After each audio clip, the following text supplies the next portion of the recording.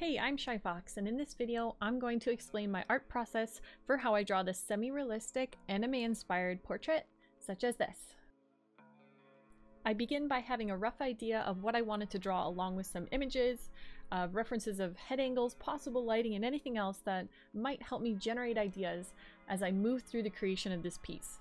Then I start by sketching the head. I follow the Loomis method. I really like this method for drawing heads, and I have a video teaching how I approach the Loomis method for drawing heads if you want to check that out. Any links mentioned will be in the description though, so you can go back and check those out at your own convenience or perhaps when you finish this video. But the general idea with the Loomis method is to divide the head into sections at whatever angle and place the facial features in the correct spot based on the average head.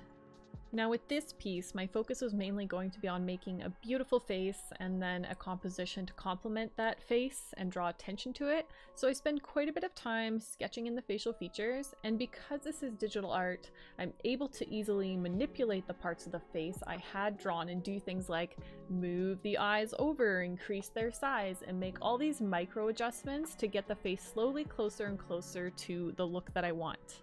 I'm not the type of artist that gets it right the first time when I draw something. I have to do lots of tweaks and adjustments. And knowing what to fix and how, you know, to fix it as I go comes with experience of having drawn faces before. It also comes from comparing to my references, the reference images, and figuring out how mine could be better. Flipping the canvas around also helps me see things with a fresh perspective. At this point I have the hair drawn in and I have the concept of like how I want this whole piece to look.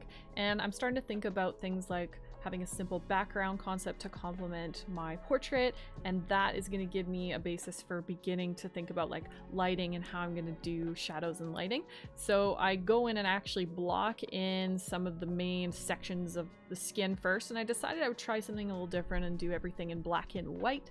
So doing the skin and everything sort of black and white first and think about colors as sort of an afterthought in this piece because in general it is definitely more valuable to think about well values um, more than we're thinking about color, to think about values first. And by values, I really just mean your lights and your darks and how they work together. Um, I think sometimes artists get really stuck and lost in the ideas of like colors and really focusing on colors and just forgetting about, you know, how lights and darks impacts our colors. So by focusing on one at a time, um, I was just kind of practicing my values is what that comes down to. So so practicing my lighting and putting some fun lighting on the on the face to see what what can work. And, and a lot of what I was doing I felt like wasn't working. So it was a lot of try this, try that and eventually settling for something that I think would work, just sort of a slight lighting on the side of the face there.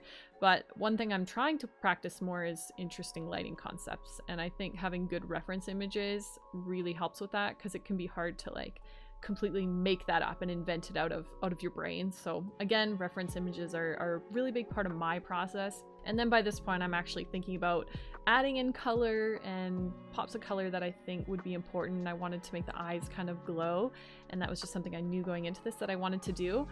I'll admit that I, I really struggled mentally through this piece. I like was hating my art the whole time through this, and it just like wasn't quite up to my like typical standards that I feel like I should be hitting. And so I was like really like stressing while painting this, um, being, you know, all the extra hard on myself that I probably shouldn't have been but I decided I wasn't going to give up. I just really wanted to complete something. So sometimes when I'm struggling and I'm just not liking what I'm seeing, it's kind of an opportunity to start experimenting and do doing things maybe I wouldn't normally do. So when I wasn't happy by about this point with colors, I switched them and just kind of lightened everything up, just kind of like uh, totally different tones.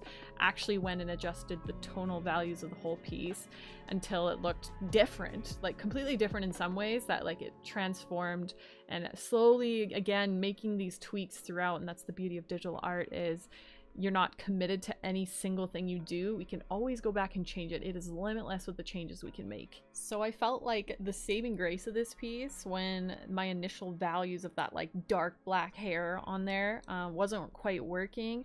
Uh, the saving grace was essentially changing those tonal values. And when I'm struggling through a piece, I start thinking about things like, how can I save this? How can I fix it? What could I do different? And uh, one of the things I ultimately do change by the end of this piece and sort of commit to when it's finished is actually putting the piece on its side. It's kind of like a little trick that if the face just doesn't look perfect, just like rotate the, the canvas 90 degrees any direction and just see how that looks. So that was just something I ended up doing. Just wanted to note, I definitely found myself doing a lot of trial and error throughout this process and just kept trying things little tone tweak, little eye adjustment, face adjustment, smoothing out some lines in the hair, just doing whatever I could think to try and improve the piece.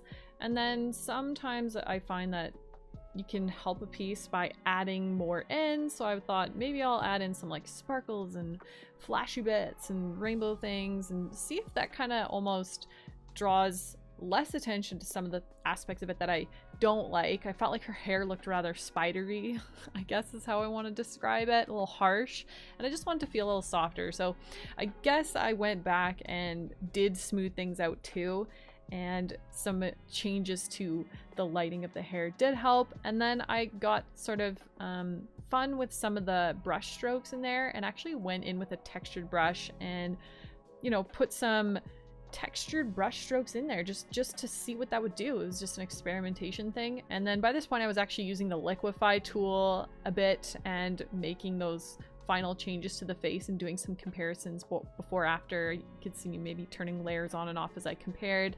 And then actually enhancing some saturation and again rotating the canvas. I did end up with this canvas rotated 90 degrees and it was more like phone wallpaper style in the end and you know that's what I just I liked it that way and that's sort of what I what I went with.